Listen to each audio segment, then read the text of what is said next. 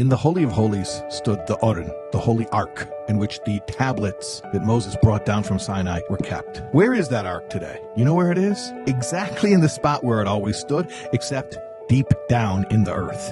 You see, when the temple was built by Shlomo Melech, King Solomon, he foresaw prophetically there would come a time when the temple would be destroyed. So he constructed catacombs, winding mazes underneath the temple where the ark would be kept safely during the time of destruction. Each one of us is a Beis HaMikdash. And there can be a time, God forbid, where we're in a desolate state. Spiritually, we're bankrupt.